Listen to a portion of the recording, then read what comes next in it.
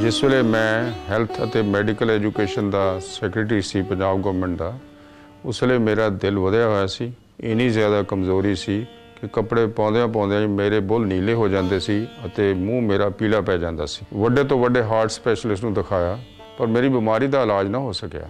ਅਖੀਰ ਹਰ ਪਾਸਿਓਂ ਥੱਕ ਹਾਰ ਕੇ ਮੈਂ ਗੁਰੂ ਚਰਨਾਂ ਚ ਅਰਦਾਸ ਕੀਤੀ हे ਸਾਹਿਬ, ਮੈਨੂੰ ਕੋਈ ਰਸਤਾ ਦਿਖਾਓ। ਵੈਸੇ ਪਾਠ ਤਾਂ ਮੈਂ ਬਚਪਨ ਤੋਂ ਹੀ ਕਰਦਾ ਸੀ ਪਰ ਇਸ ਅਰਦਾਸ ਤੋਂ ਬਾਅਦ ਮੈਨੂੰ ਅੰਦਰੋਂ ਹੀ ਫੁੱਲਣਾ ਫੁਰਿਆ ਕਿ ਵਾਹਿਗੁਰੂ ਸ਼ਬਦ ਨੂੰ ਗਾ। ਤੇ ਫਿਰ ਜਦੋਂ ਮੈਂ ਵਾਹਿਗੁਰੂ ਸ਼ਬਦ ਨੂੰ ਸਿਰਫ ਅੱਧਾ ਘੰਟਾ ਹੀ ਗਾਇਆ, ਮੇਰੀ ਥਕਾਵਟ ਦੂਰ ਹੋ ਗਈ, ਸਿਰ ਦਰਦ ਘਟ ਗਈ, ਮੇਰਾ ਬੁਖਾਰ ਘਟ ਗਿਆ ਅਤੇ ਮੈਨੂੰ ਯਕੀਨ ਆ ਗਿਆ ਕਿ ਸਤਿਗੁਰੂ ਜੀ ਨੇ ਕਿਰਪਾ ਕਰਕੇ ਮੈਨੂੰ ਰਸਤਾ ਦਿਖਾ ਦਿੱਤਾ ਹੈ। ਉਸ ਤੋਂ ਬਾਅਦ ਮੈਂ ਹਰ ਰੋਜ਼ 2-2.5 ਘੰਟੇ ਸਵੇਰੇ ਅਤੇ 2-2.5 ਘੰਟੇ ਸ਼ਾਮ ਨੂੰ ਵਾਹਿਗੁਰੂ ਸ਼ਬਦ ਨੂੰ ਗਾਉਣਾ ਸ਼ੁਰੂ ਕਰ ਦਿੱਤਾ।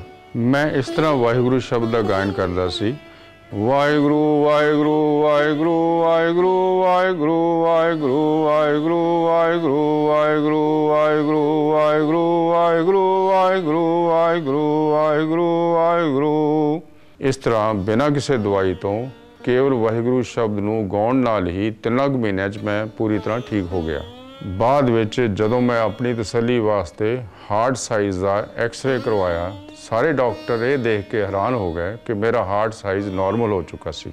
ਇਹ ਮੇਰੇ ਪਹਿਲੇ ਐਕਸ-ਰੇ ਦੀ ਫੋਟੋਗ੍ਰਾਫ ਹੈ ਜਦੋਂ ਮੇਰਾ ਹਾਰਟ ਸਾਈਜ਼ ਵਧਿਆ ਹੋਇਆ ਸੀ। ਤੇ ਇਹ ਮੇਰੇ ਐਕਸ-ਰੇ ਦੀ ਉਹ ਫੋਟੋਗ੍ਰਾਫ ਹੈ ਜਦੋਂ ਮੇਰਾ ਹਾਰਟ ਸਾਈਜ਼ ਬਿਲਕੁਲ ਨਾਰਮਲ ਹੋ ਗਿਆ ਸੀ। ਪ੍ਰਾਣਾਯਾਮ ਤਾਂ ਮੈਂ ਪਹਿਲਾਂ ਹੀ ਕਰਦਾ ਹੁੰਦਾ ਸੀ, ਪਰ ਇੱਕੇ ਸਾਹ 'ਚ ਵਾਹਿਗੁਰੂ ਸ਼ਬਦ ਨੂੰ ਗਾਉਣ ਨਾਲ ਮੈਂ ਮਹਿਸੂਸ ਕੀਤਾ ਕਿ ਇਸ ਤਰ੍ਹਾਂ ਕਰਨ ਨਾਲ ਪ੍ਰਾਣਾਯਾਮ ਵਾਹਿਗੁਰੂ ਦੀ ਆਰਾਧਨਾ ਤੇ ਸੁਣਨਾ, ਤਿੰਨੋਂ ਚੀਜ਼ਾਂ ਇੱਕੋ ਸਮੇਂ ਇਕੱਠੀਆਂ ਹੋ ਜਾਂਦੀਆਂ ਹਨ ਔਰ ਇਸੇ ਵਾਸਤੇ ਮੈਂ ਜਲਦੀ ਠੀਕ ਹੋ ਗਿਆ। ਆਪਣੇ ਨਿੱਜੀ ਤਜਰਬੇ ਤੋਂ ਪ੍ਰਭਾਵਿਤ ਹੋ ਕੇ ਮੈਂ ਗੁਰਬਾਣੀ ਰਾਹੀਂ ਹਰ ਬਿਮਾਰੀ ਦੇ ਇਲਾਜ ਦੀ ਵਿਧੀ ਦਾ ਪ੍ਰਚਾਰ ਕਰਨਾ ਸ਼ੁਰੂ ਕੀਤਾ ਅਤੇ ਇਸ ਤਰ੍ਹਾਂ ਸਰਬ ਰੋਗ ਕਾ ਔਖਦ ਨਾਮ ਮਿਸ਼ਨ ਹੋਂਦ ਵਿੱਚ ਆਇਆ।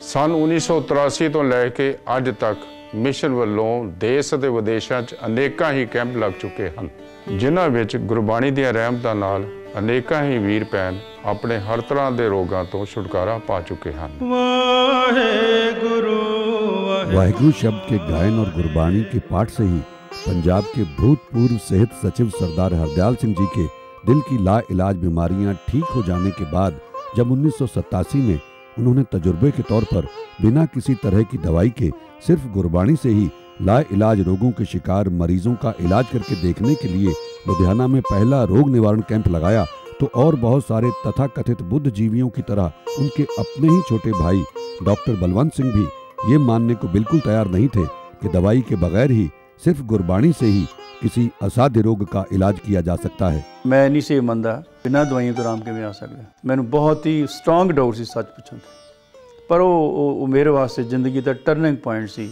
ਕਿ 10 ਮਰੀਜ਼ ਆਏ, ਉਹ ਵੀ ਇਹੋ ਜਿਹੇ ਇਹਨਾਂ ਦਾ ਇਲਾਜ ਹੋ ਨਹੀਂ ਸਕਦਾ। ਫਿਰ ਕੈਂਸਰ ਪ੍ਰੋਸਟੇਟ ਸੀ, ਜਿਹੜਾ ਉਹ ਸਾਰੀ ਬਾਡੀ 'ਚ ਉਹਦਾ ਮੈਟਾਸਟੇਸਿਸ ਸੀ ਬੋਨਸ ਵਿੱਚ ਤੇ ਇਲਾਜ ਨਹੀਂ ਸੀ ਹੋ ਸਕਦਾ। ਬੰਦੇ ਨੂੰ ਕਈ ਮਹੀਨੇ ਦੀ ਰੋਟੀ ਨਹੀਂ ਸੀ ਖਾਧੀ ਤੇ 6-6 ਘੰਟੇ ਬਾਅਦ ਟੀਕਾ ਲੱਗਦਾ ਸੀ ਦਰਦ ਦਾ। ਤੇ ਮੈਨੂੰ ਲੱਗਦਾ ਵੀ ਇਹਦੀ ਡੈਥ ਹੋ ਹੀ ਜਾਣੀ। ਮੇਰਾ ਮਨ ਹੀ ਕਹਿੰਦਾ ਸੀ ਵੀ ਇਹਨੇ ਜਿੰਨਾ ਕੁ ਬਿਮਾਰ ਹੈ। ਇਹਦਾ ਇੱਕ ਹਾਰਟ ਦਾ ਪੇਸ਼ੈਂਟ ਆਇਆ, ਇੱਕ ਫੂਡ ਐਲਰਜੀ ਦਾ ਆਇਆ। ਇਦਾਂ ਹੀ ਸਾਰੇ 10 case C exactly I don't remember all of them ਪਰ ਦਸਾਂ ਨੂੰ ਹੀ ਪੂਰਾ ਪੂਰਾ ਆਰਾਮ ਹੈ, ਹੈਰਾਨੀ ਦੀ ਗੱਲ ਹੈ ਕੈਂਸਰ ਵਾਲੇ ਬੰਦੇ ਨੂੰ ਮੈਂ ਇੱਕ ਟੀਕਾ ਵੀ ਨਹੀਂ ਲਾਇਆ। ਮੇਰੇ ਵਾਸਤੇ ਇੱਕ ਬਹੁਤ ਵੱਡੀ ਗੱਲ ਸੀ, ਮੈਂ ਕਿਹਾ ਮੈਂ ਡਾਕਟਰ ਹੋ ਕੇ ਤਾਂ ਇਲਾਜ ਨਹੀਂ ਕਰ ਸਕਦਾ। ਫਿਰ ਮੈਨੂੰ ਪੂਰਾ ਹੀ ਭਰੋਸਾ ਹੋ ਗਿਆ ਵੀ ਇਹ ਤੋਂ ਵੱਡੀ ਕੋਈ ਗੱਲ ਨਹੀਂ। ਹਰ ਇੱਕ ਬੰਦੇ ਦੀ ਬਿਮਾਰੀ ਠੀਕ ਹੁੰਦੀ ਹੈ।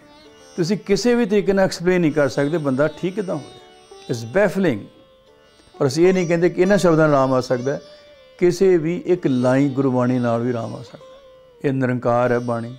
ਕੋਈ ਇੱਕ ਲਾਈਨ ਲੈ ਜਾਓ ਤੇ ਪਾਰ ਤਾਰਾ ਦੁਨੀਆ ਦਾ ਕਰ ਸਕਦਾ ਸੁਪਰ ਪਾਵਰ ਹੈ ਇਹ 'ਚ ਕੋਈ ਸ਼ੱਕ ਨਹੀਂ ਇਸ ਬਾਰੇ। ਤੇ ਨਾ ਹੀ ਹੈ ਸਰਬ ਰੋਗ ਔਖਦ ਨਾਮ। ਸਾਰੀਆਂ ਬਿਮਾਰੀਆਂ ਵਿੱਚ ਨਾਮ ਗੁਰਬਾਣੀ ਰਾਹੀਂ ਰਾਹਤ ਮਿਲਦੀ ਹੈ। ਉਹਦੇ ਸਾਇੰਟੀਫਿਕ ਸਾਡੇ ਕੋਲ ਐਵੀਡੈਂਸ ਨਹੀਂ। ਔਰ ਰਾਹਤ ਵੀ ਬੜੀ ਜਲਦੀ ਮਿਲਦੀ ਹੈ। ਪੰਜਾਂ ਦਿਨਾਂ 'ਚ ਹੀ ਬਿਨਾਂ ਦਵਾਈ ਤੋਂ ਕਈ ਵੀਰ ਭੈਣ ਤੇ 100% ਠੀਕ ਹੋ ਜਾਂਦੇ ਆ। ਇੱਕ ਨਹੀਂ ਵੱਖ ਵੱਖ ਡਿਜ਼ੀਜ਼ਸ ਦੇ। ਜਿਸ ਨੇ ਵੀ ਨਾਮ ਜਪਣਾ ਹੈ ਉਹਨੂੰ ਪਿਆਰ ਨਾਲ ਆਪਣੀ ਆਵਾਜ਼ ਨੂੰ ਸੁਣਨਾ ਚਾਹੀਦਾ ਹੈ। ਦੋਵਾਂ ਕੰਨਾਂ ਰਾਹੀਂ ਆਪਣੀ ਆਵਾਜ਼ ਨੂੰ ਸੁਣਨਾ ਚਾਹੀਦਾ ਹੈ। ਵੀ ਗੁਰਬਾਣੀ ਨੂੰ ਪਿਆਰ ਕਰੋ ਗੁਰਬਾਣੀ ਨੂੰ ਜ਼ਿੰਦਗੀ 'ਚ ਧਾਰ ਲਓ। ਫਿਰ ਜ਼ਿੰਦਗੀ ਦੀ ਕੋਈ ਖੁਸ਼ੀ ਨਹੀਂ ਜਿਹੜੀ ਤੁਹਾਨੂੰ ਨਾ ਮਿਲੂਗੀ। ਅਗਰ ਪਿਆਰ ਨਾਲ ਸੁਣਨਾ ਆ ਜਾਏ ਤੇ ਕੋਈ ਵੀ ਰੋਗ ਹੋਏ ਉਹਦੀ ਹੀਲਿੰਗ ਹੋ ਜਾਂਦੀ ਹੈ। ਮੈਂ ਤੇ ਲੋਕਾਂ ਦਾ ਇੱਕ ਡਾਕਟਰ ਹਾਂ ਮੈਂ ਲੋਕਾਂ ਦਾ ਇਲਾਜ ਕਰ ਰਿਹਾ ਹਾਂ। ਇੱਕ ਗੁਰਬਾਣੀ ਰਾਹੀਂ।